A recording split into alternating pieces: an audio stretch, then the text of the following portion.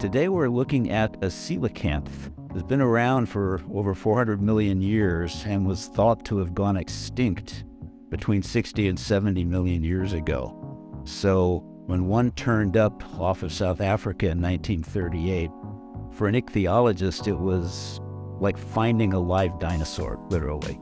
I mean, coelacanths predated the dinosaurs on the planet.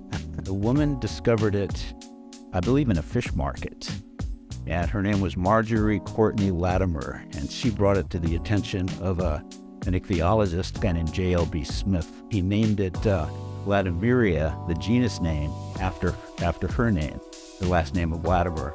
And then uh, was the species name, and that was because it was caught off of the Chalumna River. A second specimen wasn't found until 1954. In fact, J.L.B. Smith had little wanted posters out.